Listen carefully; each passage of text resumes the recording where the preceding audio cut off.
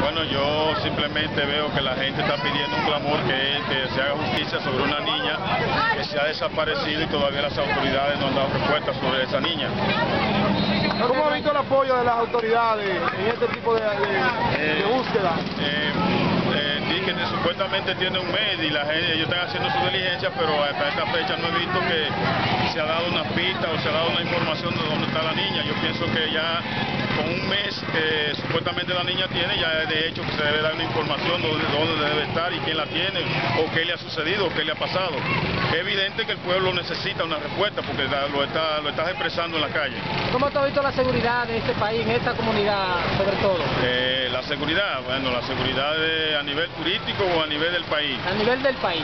A nivel del país yo creo que la seguridad está un poquito, un poco pero yo pienso que vamos a mejorar. ¿Tú piensas que hay flojadez en este tipo de situación que está ocurriendo en esta comunidad? Tenemos que mejorar y para mejorar hay que cambiar. Ok. ¿Tu nombre?